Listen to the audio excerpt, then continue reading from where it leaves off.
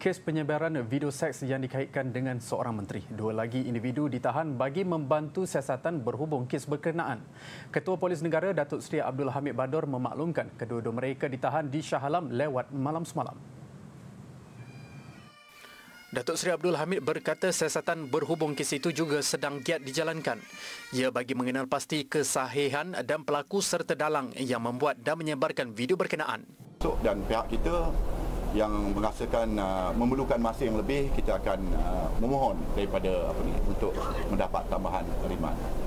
Rumit cerita ni ya, rumit. Kita tidak mahu tersilap dalam membuat apa ni uh, mengambil tindakan kita.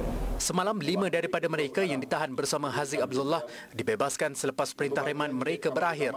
Sementara itu Datuk Seri Abdul Hamid menegur segelintir ahli politik yang memberi tekanan kepada beliau dan anggotanya berhubung siasatan video itu. Daripada mula saya dah beritahu bahawa oleh kerana sensitiviti sensitiviti isu ini begitu tinggi sekali menarik minat ramai lah khususnya di kalangan orang-orang politik ni ya pelbagai desakan diberikan kepada dikenakan ke atas saya ya orang politik di luar ni bukan dalam kerajaan ataupun uh, pucuk apa ni pimpinan kerajaan tidak ada menekan saya apa-apa tapi di luar ni menekan saya sebagai ketua polis negara dengan berbagai-bagai inilah mendesak saya mengeluarkan kenyataan tulen tak tulen tulen tak tulen itu bukan kerja saya. Siang tadi berlangsung majlis penutupan perkemahan Kor Kadet Polis Peringkat Kebangsaan di Kamp Bina Semangat, Kuala Kubu Baru.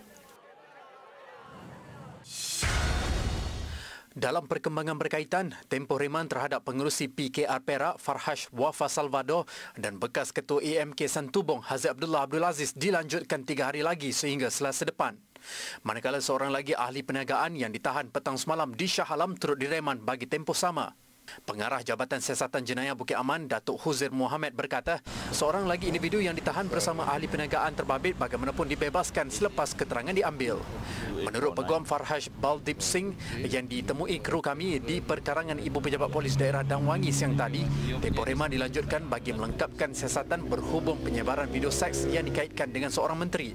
Siasatan kali ini hanya ditujukan di bawah Seksyen 292 Kanun Keseksaan dan juga Seksyen 233 Akta Multimedia dan Komunikasi.